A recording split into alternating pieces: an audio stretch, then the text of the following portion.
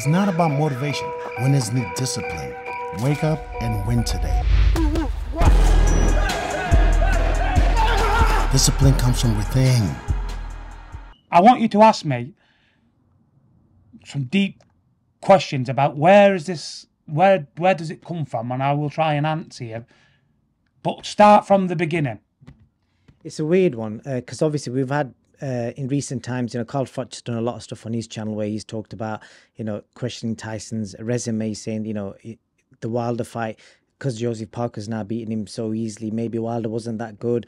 Um, and then obviously people saying Wallin got blown away by Anthony Joshua. Was he even that good? Do you get me? So, that, yeah. so a lot of these sort of things, people but are kind of. But now, and I'm not just saying it because of Tyson, but was it the case of Joshua just being good on that night and disposing with his fighter in front of him, a proper?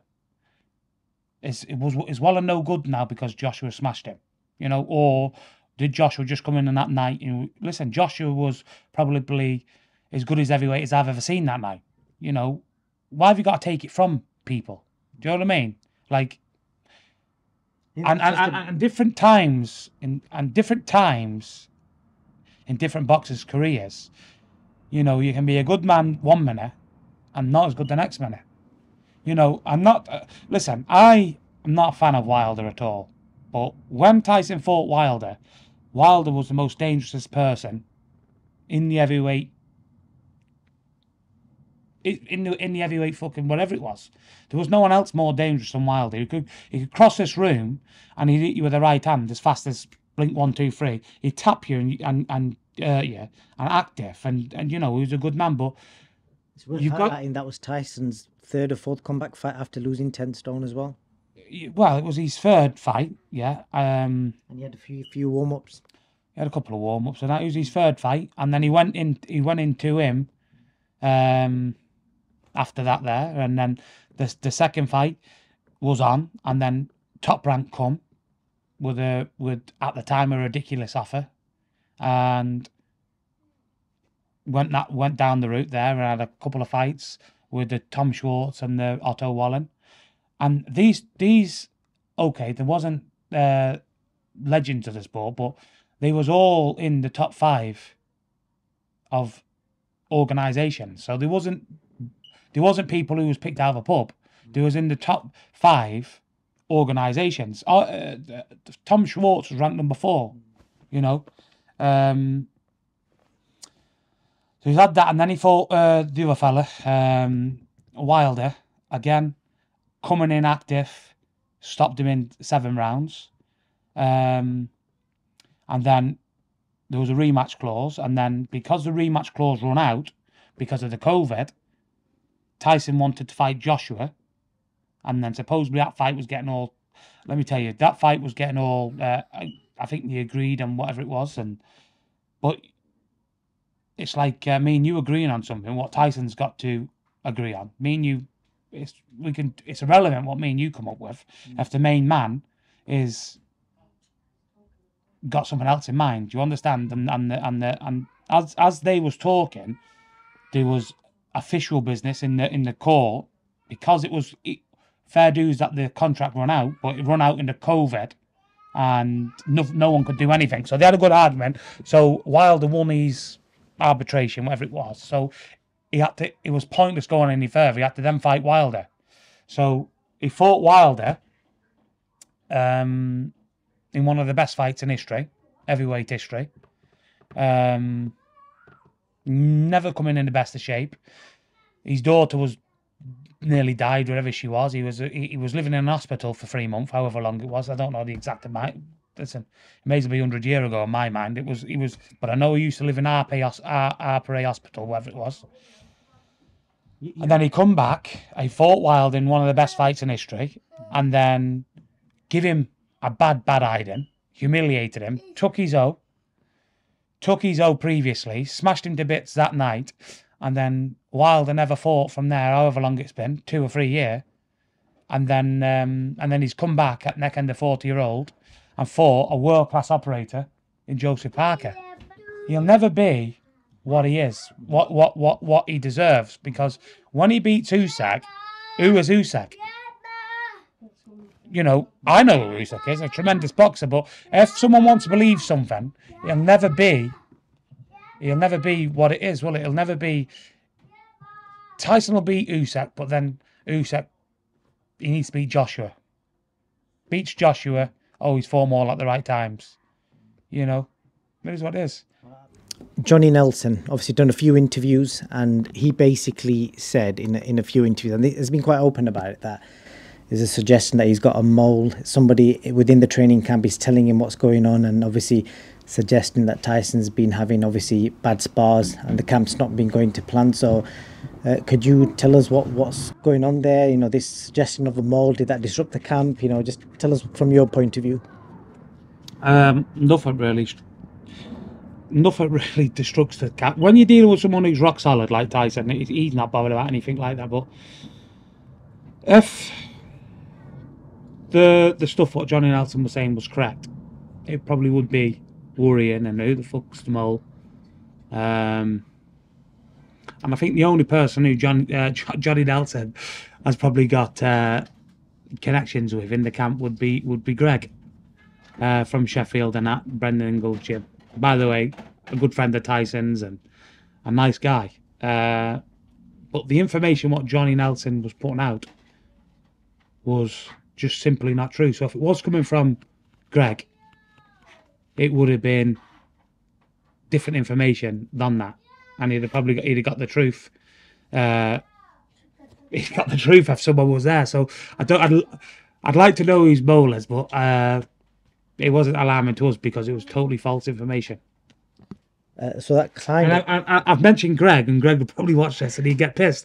But with him being from Sheffield and that, and his mole, well, it might be that's the only mole I can come up with, and I can can't see Greg telling for one uh, being the mole because Greg's worked with a lot of fighters, and we've been we've been weeks with him, and he hasn't mentioned anything about any fighters. And we've we've asked uh, like just in conversations about questions, he says, "Listen," he said, "if I tell him about him."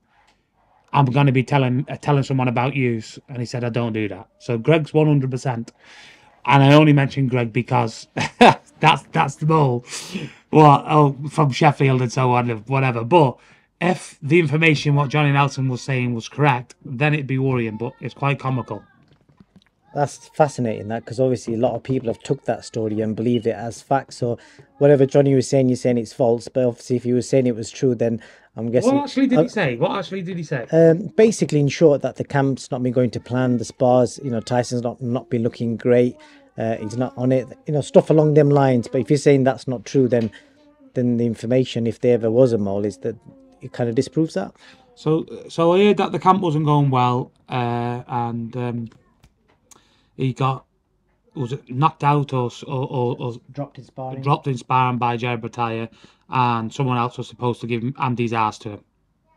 Yeah, so with that information and that there, it wasn't alarming at all because none of it ever happened.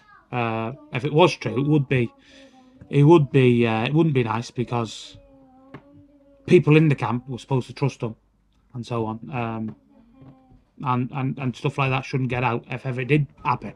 It's like if Tyson knocked someone out sparring, which he's knocked plenty of people out sparring, you wouldn't know because it'd be none of us what would be saying it.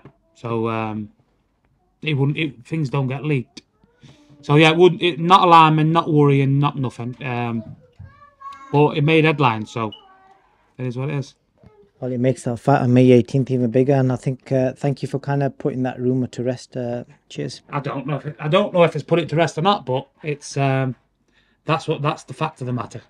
Uh, one of the last things I want to ask you, Shane, is we've seen this crazy beef bet- between your dad and Carl Froch. Uh, before I get to that, I, I came across an interview uh, of Tyson's uh, from eight years ago where he said uh, the last real world champion in this country was Carl Froch, and he spoke really highly of Carl. But obviously, we've seen Carl like he doesn't mince his words. It's a bit like you; he just says what he thinks, and uh, you know, fair play to him because he, he doesn't care about what people think. He just says what he thinks. Um, but what do you make of this beef between your dad and Carl? Your dad's not really going to go fight him, is he? Um, pretty uh, quite cringy, in all fairness, of of my dad's behalf. Um, I don't don't agree with it at all. Um, but my dad's his own man. Like he says, he's he's he's, his own man. He'll do what he'll do. And I've never actually spoke to him about it. Uh, with with me dad, he gets he gets irate because he's emotionally exactly exactly the same as me. He's emotionally involved with it. Uh, and when he gets irate, he comes out with stuff. Listen, my dad's fifth, however old he is. It is what it is. He'd be better off eating a cheese sandwich and watching telly, but he's uh, again he's he's a big name in it. Uh, I don't really care about that sort that side of it. Uh, want the whatever. Listen, he's got a few people offering him out, and I think they're talking about fighting and all this carry on. But we'll see. Um, Would you want to see him fight? no, not really. But the thing is, if you're if you if you if you opening if you're opening your mouth, um, and saying saying stuff, calling not individuals out, but calling everyone out, and someone wants to step up to the mark, it's you got to step up to the mark. Simple. Um, and it is what it is. Would I like to see him fight? No. Would I like to see the fellas who's offering him fight? No. Would it be a good fight? Probably not. Sixty year old apiece. Uh, but I'm sure there'll be a lot of people who want to see it. Um, but for me, I'm only interested in Tyson winning this fight. And after he's won this fight, I wouldn't even be bothered about seeing Tyson box anymore. Because because because it wouldn't it makes no difference. After Tyson wins this fight, it makes no difference if he gets knocked out, if he gets mopped up off the canvas. As long as he comes home after this fight, uh, and the fights he has onwards there, I don't care. Because for me, he's completed the game after this fight. Um, he's won every belt in boxing. He's won ev- every accolade. He's he's got more things. I'm I'm, I'm going to get it all on a plaque from from the start of his career to the end of his career, uh, and I'm going to put it up somewhere in here because I'm I'm proud of what he's done. And for me, he only has to win this fight to complete the game. If he didn't even go in this fight, he's done enough, and he's done probably more so than what anyone else has done. But to win this fight, uh, he seals it for me. On that note, uh, Shane, I genuinely appreciate nearly an hour of your time, um, top man. Uh, yeah, no, you can. I appreciate you speaking from the heart, and obviously, there's. I just wanted somebody to give like an insight from the camp to kind of tell people what's really happened because there's been too many narratives out there. And it's only fair that somebody from within the team that speaks from the heart just says it as it is. Uh, so, on that note, is there anything else you want to say before I let you go? Um, I, I don't do these interviews for any gain for me at all. It does me it, it does me a, um, it does me a negative if anything. But uh, I don't I don't know I don't know why I do them. Uh, yeah, you're not a bad fella. You've rung me up and asked me, so why not? And yeah, uh, if you've heard it, not like I'm some great man, but if you heard it from me, it's uh, it ain't sugar coated, and it's it's what happened. There's no there's no um there's no there's no uh, skullduggery behind anything. It's just what it is. We're all we're sicker than anyone else. 100% Shane. Likewise, I respect you, mate, and uh, appreciate you giving me some of your time. I'll let you enjoy your afternoon with your little ones. Top man, thank you very much. Fear. Most people are governed by their habits, their fears, and their opinions of others.